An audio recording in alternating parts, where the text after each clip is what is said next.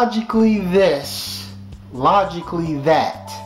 Now let's see what kind of logic I can pull out of my logical hat. You know, and I guess in this video, I'm gonna reply to John Logic's video. You know what I mean? Because it's not gonna reply to itself.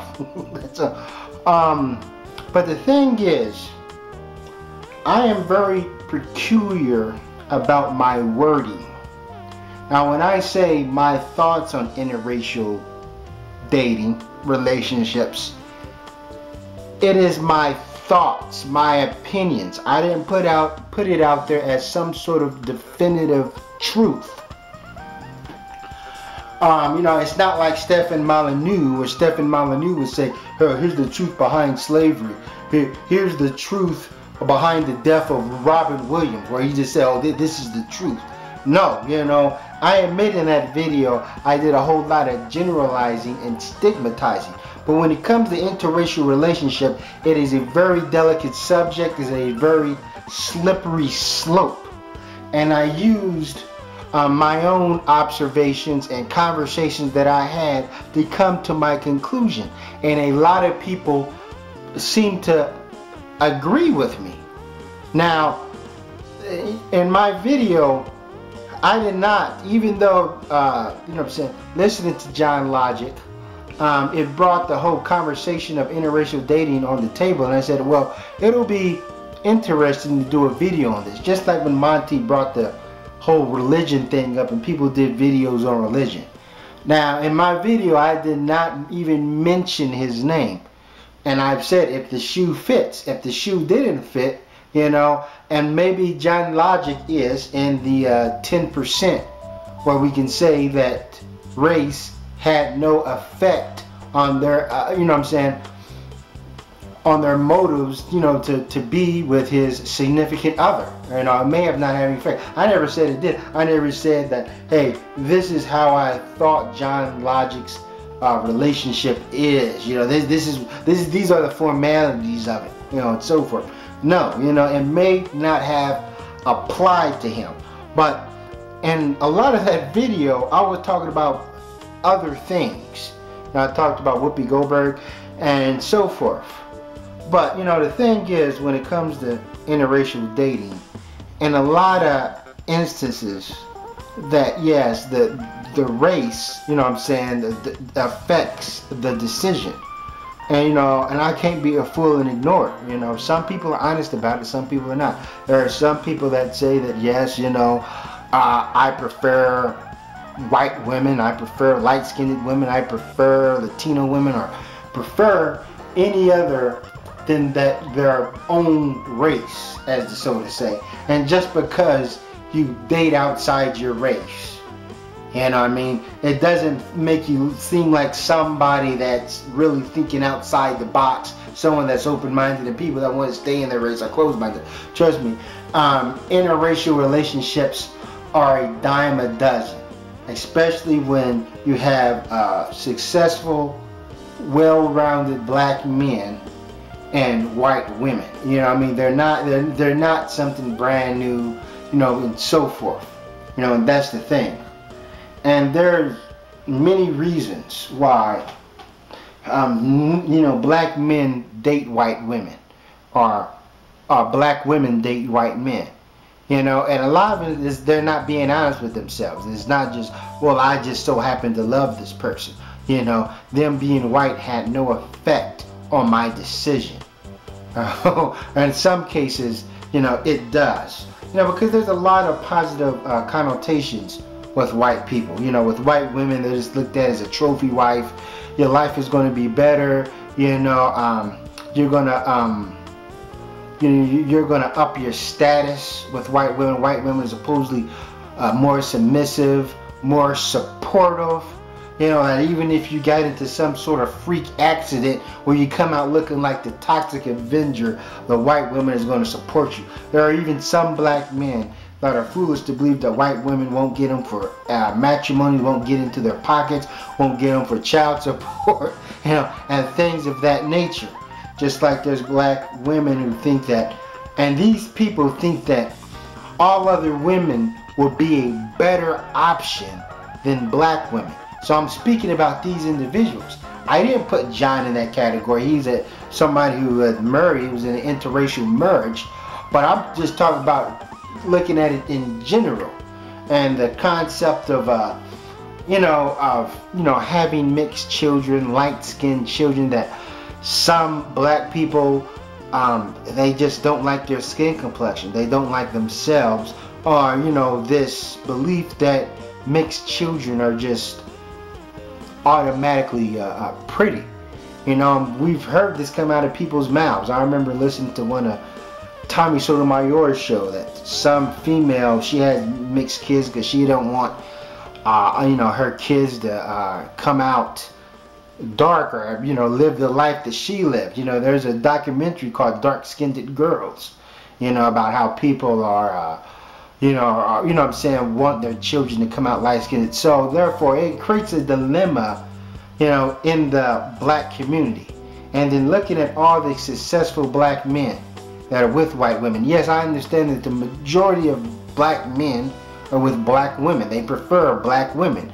But there's a lot, there's a disproportionate, uh, uh, uh, disproportionate number of black men wanting white females. You know what I'm saying? Whether they're famous, you know, some of them are successful or someone go after them. Other than reason saying, hey, I just uh, found love. When you look at the celebrities, you know, I'm like, the list goes on. You know, James Earl Jones, Jones, Sidney Poitier, the late Don Cornelius. I'm like, how can Don Cornelius be with a white woman? Charles Barkley, Cuba Gooding Jr., uh, uh, uh, Scottie Pippen, Michael Jordan, um, uh, uh, Derek Luke, you know I'm saying, Terrence Howard. I'm like, you know, and if they're not with a white woman, you know, they'll be with a Latino woman, they'll be with a light-skinned black female, well at least they're, they're with a black female, but, you know, and, and that's the thing, and people observe it. And, you know, and then the black men, successful black men, or what we consider handsome black men, being with what some would consider average looking white women, you know, or black men bragging about, you know, being with white women like they've just hit the lottery or the jackpot. Now I think about that joke uh, Damon Wayans did. He said that, you know, some of these brothers, when they get them a white woman, they can be handicapped. They can get them directly from the Special Olympics and they're bragging about what they got. you know, it's a disfigured white woman you know, and um, even is that true for all case scenarios? No, but people laughed at that joke. You know what I'm saying? They found some, they sound, find it uh, uh, somewhat humorous because there was some truth in it about you know you see black black men with just what some people may consider a detestable white female, but you know they're white, you know things of that nature. Or that Chris Rock joke. Chris Rock said that a lot of black women are mad that um, I, I, you know, and a average female, uh, someone who looks like Ricki Lake, a white woman that looks like Ricki Lake, Ricki Lake. And we're talking about someone that is super average looking, can go into a predominantly black club and get a black man. You know, and, and there are just some truth to that. You know that that some people that that you know they'll choose a mediocre white female than in a fairly attractive black you know what I'm saying, female. All right, some people just feeling that white people are a better option. You know, that you know, they may be so fixed on getting them a white person or a person outside their race that they can have the perfect match standing in front of their face, but they're going to ignore them all because they are the same color as them. You know, so it may not apply to John, eh, but it does apply to a lot of people. I'm going to put my own nephew, my own nephew, I'm going to put him, I'm going to put him on blast. I'm going to put him inside that skillet. Now, he is a handsome black gentleman. He's 18 years old. He's like 6'2", 6'3". He has high cheekbones. You know, he's athletically built. He runs, uh, you know, he went to uh, college on a track scholarship you know and you know and young people are honest. They they seem to be a lot more honest than old people. When he says that he just says that he's not into black females. You know what i'm saying? He likes white girls. You know that's all. So, um, you know, when, when it comes to um, my nephew there, now, his white girlfriend, I would say is pretty average. I'm like, you know, she's just pretty and she's just average, you know, there's no bells and whistles. I do feel that if he was to get him a black girl, he'll have a black female that is more attractive than the white female is with. Not saying that he can't get a more attractive white female, and some people say, well, maybe they're just kindred souls, they're made for each other, whatever. But my nephew literally states that he only dates white females. So there could have been his perfect match was he was standing next to him, but he overlooked it because he was fixed on someone outside the race, you know, and this is, um, and we can't act like this don't go on. Now, we're going to go into the concept of white supremacy. Now, John said something about I rule my house or whatever. He's talking about, you know, because I quoted something Neely Fuller said. And this concept of white supremacy, Neely Fuller uh, acknowledges it. Welsing acknowledges it. Tariq Nasheed, Dr. Umar Johnson, Randall Robertson, even a lot of white people acknowledge that white supremacy does exist. And in, in John's household, he made rules. I'm pretty sure there are a lot of black men married to white women and they come home and they say, hey, woman, cook me my steak.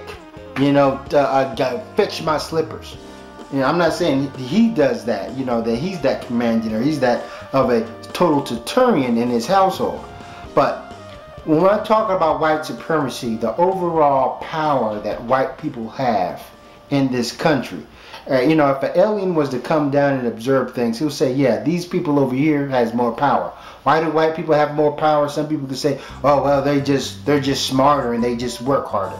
You know, and this doesn't, white supremacy doesn't mean that every single white person is part of the Ku Klux Klan or every single white person has ill intent for a black person that want to sabotage a black person. Now we know that there are white people adopting black kids or whatever. There's white people out there sticking their necks out for blacks. This doesn't mean that every single white person is racist, but it does mean that the system they have built favors them more than it favors black people. White people have their own individuality. You know, when a white woman goes into a store or, or, whatever and act a fool, she's an individual. They're like, oh, that's just a, you know what I'm saying, just a nutcase there. But a black person, you know, seems to be a representation of their own race. You know, black people are pigeonholed. It's like when someone uh, uh, who has a black sounding name, you know I mean? They don't get a call back, you know, and it don't have to be one of them ghetto names. They can even sound African. There was a female on YouTube who just talks about being a dark-skinned woman, and she made a video saying that her African name was was Cheeky or you know something of that nature. Cheeky, you know, I, I think it is. But that sounds like a black name. Somebody with the name of Cheeky, you know, I may be mispronouncing it wrong, may not get a call back for a job as if someone who has the name of Amanda or you know, black sounding voices, you know, and they did a research that if, even if you was uh, to um, have a watch, let's say you want to put a watch on display on eBay, you know, you know, have that watch around your wrist. A watch around the wrist of a white man will sell more than the watch around the wrist of a black man, even if the watches are the same are in the same price. You know, I'm like people react off color. Now, John called me a racist, you know, and I get, well, what is the criteria of being a racist? Even though I criticized of black people for it, but I guess I'm a racist because I'm frowning on interracial relationships. When I wasn't frowning on it, I was giving you my opinion about it, and a lot of people are disingenuous. I wish people would just be honest and be like, I, um, I, I like black, I, I just like white people. You know, I, that's who I want. You know, I feel that, you know I'm saying, there are better options and I'll have a better life with them, you know, and so forth. And I feel that that's really the having wrong as having the wrong mentality. Not saying John has this uh, mentality, but you know what I mean. John has, and that's the thing about inter people in interracial relationships. They look they look at the other race, you know, especially they look at white people with rose-colored spectacles. You know, they're gonna downplay racism. They're gonna, you know, I'm saying they're not gonna, you know, and, and just doing my research on black people and white people's turbulent history, I have a right to feel the way that I do, just from the numerous books and finding racism in this country is not hard. It's not like I gotta, you know what I mean, work work up and I say, well, I'm gonna find that racism. I'm gonna, you know what I'm saying? I'll get, I guarantee you, I'll find you some racism by uh, next Tuesday. No, it's easy. You know, you can just make a comment. I made a comment on a video on a video called uh, "Interesting or Unknown Facts About Napoleon Bonaparte." You know, the you know the Emperor of France, and you know and I said that he had a black general. He had a black general working on him. And I got a bunch of racist responses all because I said Napoleon Bonaparte had a black general working under him. It's not, it's not hard to find at all. And to understand that you have racism in high places. These ain't some troll looking white people living in their mom's basement. No, we're talking about racism going, you know what I'm saying, the, the police force, the chief commissioner. I'm like, it's, it's, it's not hard at all. You know, and under the system of white supremacy, of course, the white people are going to kind of downplay their racism. And it's funny that John Logic gained all these subscribers by going hard at Tommy Sotomayor, and now he almost sounds like Tommy Sotomayor or, or David Carl or or Queasy in defending white people and saying, huh, you know what I'm saying? Like when we talk all this racist stuff, you know, it's all uh, hyperbolic hyperbabble. You know, like, oh, what are you talking about? You know, I, am telling you, it's there's pla- there's places in this country that a black man can't go into.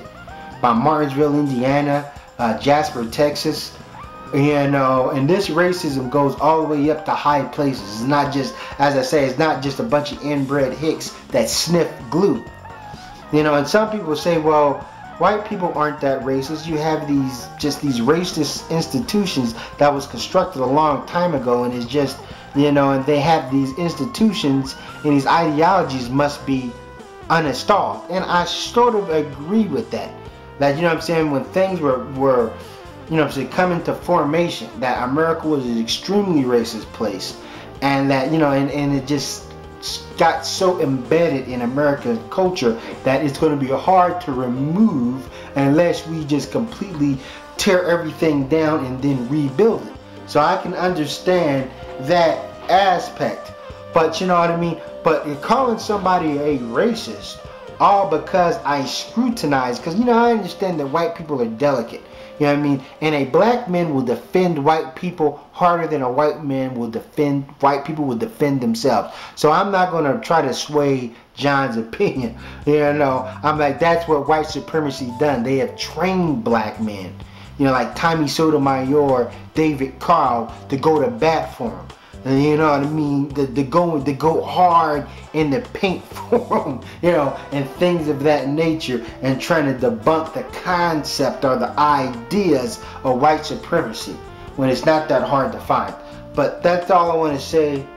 Got to keep my videos short. Thanks for watching and never stop learning.